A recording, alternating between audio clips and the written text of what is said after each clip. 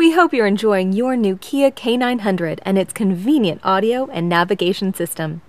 This advanced system features a wide 9.2 inch touchscreen and conveniently placed driver information system controls. You can also control the system using the head unit keys on the center dash, the controls on the steering wheel, and voice commands. Watch this. Please say a command. Sirius XM Channel 1. Now listening to Sirius XM Channel 1.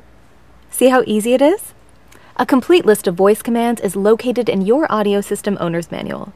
Some of the system's other great features include a 900 watt Lexicon audio system with 17 speakers in 16 locations, voice guided navigation, Pandora Internet Radio, which delivers personalized internet radio, and Sirius XM Travelink, an available satellite radio service which offers up to the minute details on a variety of helpful topics, from weather forecasts to stock prices.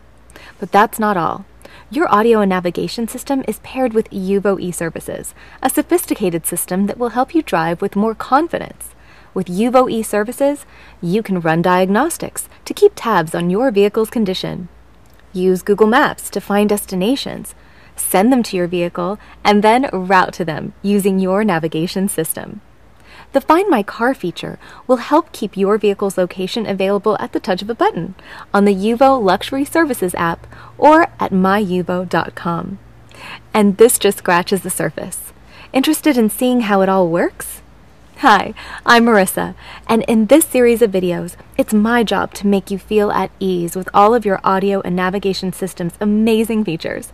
Jump in and let's get started. Remember, anything that takes attention and focus away from driving or which is not permissible by law should never be used during the operation of the vehicle.